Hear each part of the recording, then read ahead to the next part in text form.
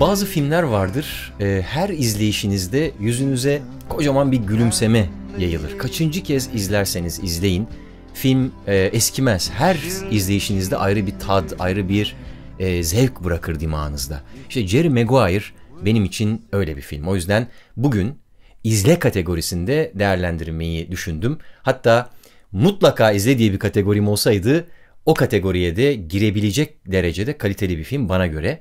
Filmin adını e, veren karakter Jerry Maguire çok başarılı bir spor menajeri ama bizdeki futbol menajeri gibi düşünmeyin. Böyle menajerlerin sporları e, sporcularla ilgili işleri yöneten kişilerin çalıştığı büyük bir şirkette çalışıyor. Ve onu canlandıran oyuncu da Tom Cruise yani e, bu karakter hem başarılı hem yakışıklı. Etrafı onu seven arkadaşlarla çevrili. Güzel de bir nişanlısı var. Anlayacağınız iş, eş ve aş üçlüsünü halletmiş. Hayatta pek çok insanın ulaşmak isteyeceği noktaya çoktan ulaşmış bir karakter bu ama hiçbir şey göründüğü gibi değildir. Dışarıdan böyle başarılı ve mutlu gibi görünen kişilerin içinde kim bilir ne fırtınalar kopuyordur. Nitekim Jerry Maguire'da hayatında bir boşluk olduğunu hissediyor. Özünde de idealist bir insan olduğu için yaptığı işin kalitesini sorgulamaya başlıyor. We live in a cynical world. Cynical world. And we work in a business of tough competitors.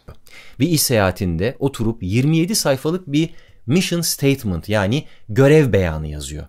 Yani inisiyatif üstleniyor, harekete geçiyor ve bu düşüncelerini, bu fikirlerini büyük bir hevesle çalıştığı kurumun yöneticilerine sunuyor.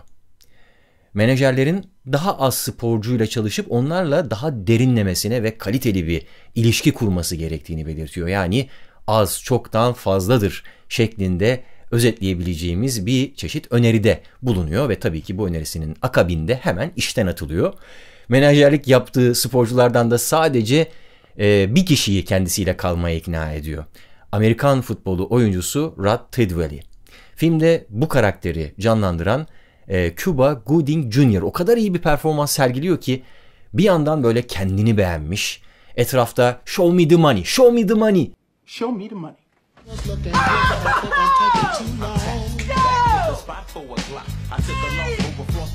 Bana parayı göster naraları atan bir adam görüyoruz ama bir yandan da aynı adam bize aile olmanın, sadakatin önemini gösteriyor yaptığı hareketlerle davranışları. Zaten Cuba Gooding Jr. buradaki performansıyla en iyi yardımcı erkek oyuncu Oscar'ı kazanmıştı. Bir başka önemli karakter de Dorothy Boyd karakteri. I loved your memo, by the way. Ve Rene Zellweger'in adını ilk kez canlandırdığı bu karakter sayesinde duyduk. Çok başarılı bir e, çıkış yapmıştı kariyerinde. Kendi halinde alt sınıf bir çalışan, tek çocuğunu zorlukla, güçlüklerle yetiştirmeye çalışan dul bir karakter Dorothy Boyd. Ama Jerry'nin fikirlerine, onun ideallerine gerçekten inanıyor ve onu desteklemek için fedakarlıklar yapıyor. Çok ihtiyacı olmasına rağmen işinden istifa etmeyi bile göze alabiliyor. Onun da unutulmaz bir repliği var filmde. You had me at hello. You had me at hello. Küçük bir dipnot. Yardımcı oyuncuların bu sözleri yani show me the money ve you had me at hello tüm zamanların en iyi film replikleri arasında kabul ediliyor.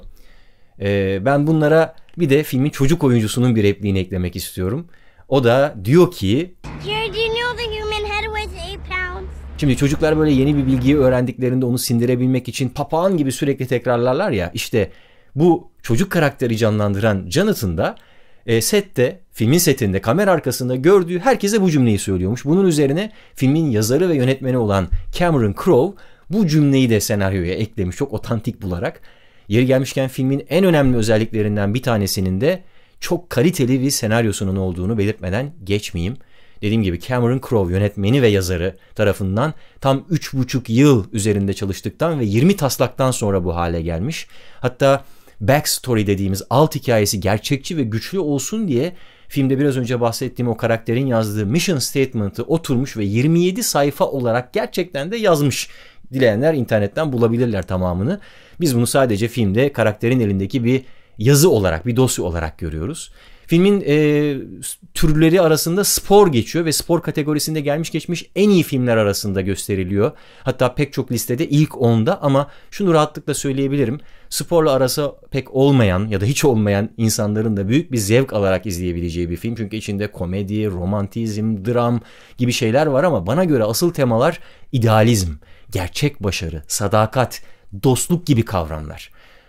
Bu film güzel bir hikayeye sahip ve en önemlisi de çok güzel bir atmosferi, çok güzel bir ruhu var. O yüzden izlemediyseniz mutlaka izlemeniz gereken, izlediyseniz de aradan 20 yıl geçmiş 1996 yapımı bir film bu.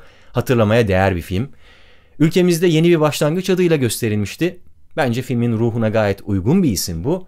Zaten ben de özellikle yeni bir başlangıç öncesinde, kendi hayatımdaki yeni bir başlangıç öncesinde bu filmi özellikle seçtim. Ayrıntılarını yakında ayrı bir video ile size açıklayacağım ama spoiler verebilirim şimdiden. Biliyorsunuz yaz döneminde 3 gün video yayınladım. İşler birazcık azaldığı için bunu yapabilmeye vakit ayırabildim ama şu anda bu takvimimde bir değişiklik yapacağım. Sonbahar kış dönemine doğru geçiş yaparken e, bazı revizeler yapacağım yayın takvimimde. Dediğim gibi ayrıntıları ayrıca bir video ile açıklayacağım. O video yine bu kanalda yayınlanacak. Ama o zamana kadar şimdilik hoşçakalın. You come knocking late at night. She'll let you